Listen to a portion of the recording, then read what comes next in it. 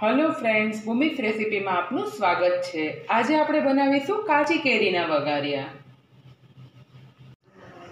કેરીના વઘારિયા બનાવવા માટેની સામગ્રીમાં મેં અહીંયા ત્રણથી ચાર ચમચી જેટલું તેલ લીધેલું છે.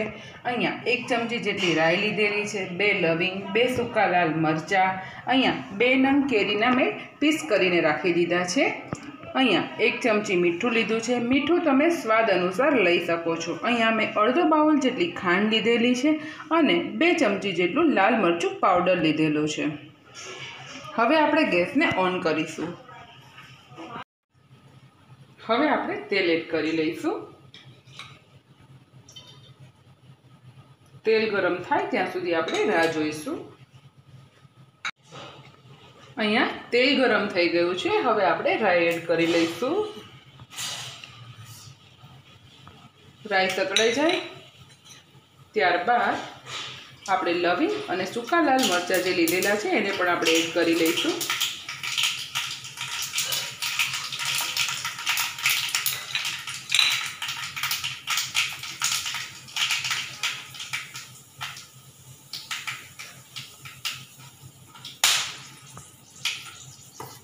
લવિંગ અને સૂકા લાલ મરચાં પણ સતળાઈ ગયા છે.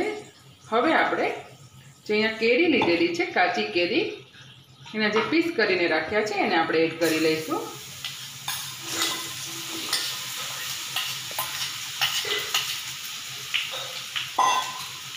ત્યારબાદ આપણે જે મીઠું લીધું છે, એને પણ આપણે એડ કરવાનું છે. જેથી કરી અને આ કેરી છે, ખૂબ જ સરસ રીતે ચડી જાય. એક વખત આપણે હલાવી લેવાનું છે. પાંચ મિનિટ માટે આપણે હવે ઢાંકણને બંધ કરી દઈશું.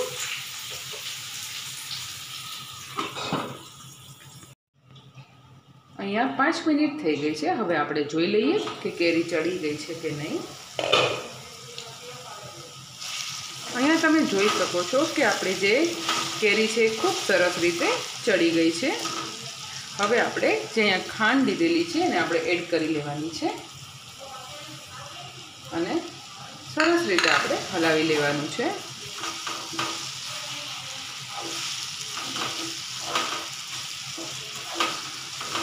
ત્યારબાદ આપણે જ્યાં મરચું લીધેલું છે, લાલ મરચું, એને પણ આપણે એડ કરી લેવાનું છે.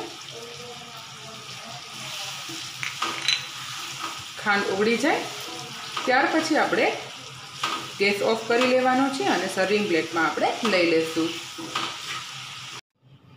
અહીંયા કાચી કેરીના વઘારિયા છે, તૈયાર થઈ ગયા છે અને મેં એને સર્વિંગ પ્લેટમાં લઈ લીધા છે. જેને તમે રોટલી ભાખરી સાથે જ્યારે તમને શાક ના ભાવતા હોય અથવા તો તમને કાચી કેરીના વઘારિયા ખાવાનું મન થયું હોય ત્યારે તમે જરૂરથી બનાવજો. જો આજનો વીડિયો તમને ગમ્યો હોય તો મારા વિડીયોને તમે શેર કરજો, લાઈક કરજો અને અમારી ચેનલને સબસ્ક્રાઈબ કરજો. Thanks for watching